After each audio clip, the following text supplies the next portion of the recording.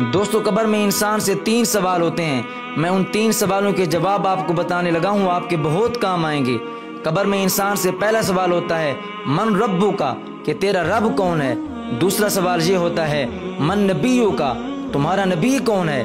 तीसरा सवाल ये होता है, मा दीनू का, तुम्हारा इस्लाम क्या है? तो पहले सवाल का जवाब ये है कि रब्बी अल्लाह, मेरा रब अल्लाह है। दूसरे सवाल का जवाब ये है कि नबी जी सल्लल्लाहु अलैहि वसल्लम मेरे नबी हज़रत मोहम्मद सल्लल्लाहु अलैहि वसल्लम हैं और तीसरे सवाल